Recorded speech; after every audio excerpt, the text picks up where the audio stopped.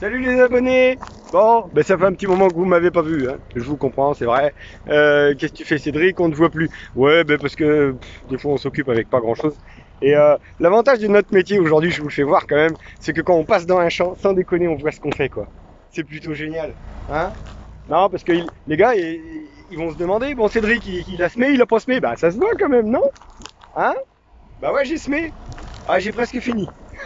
j'ai presque fini. Bon, et vous pourrez venir voir au mois de septembre, parce que l'objectif là de mes semis, c'est quand même de donner à manger aux abeilles. Bah oui, parce que tout le monde parle des abeilles, tout le monde parle des abeilles. Des fois, il faudrait peut-être leur donner à manger aux abeilles. Donc vous allez voir ce qu'on est en train de faire, c'est pas mal. Bon, comment je fais pour semer hein? Voilà. Oh, c'est quand même une machine assez grosse. hein.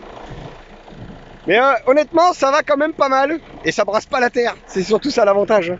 Parce que ben là, euh, vous voyez, là c'est semé. Hein. Ouais, là, là ici. euh, voilà. Bon, aujourd'hui ça se voit pas. Je pense que dans 15 jours ça commencera à se voir. Allez, moi je vous dis à bientôt. Salut, salut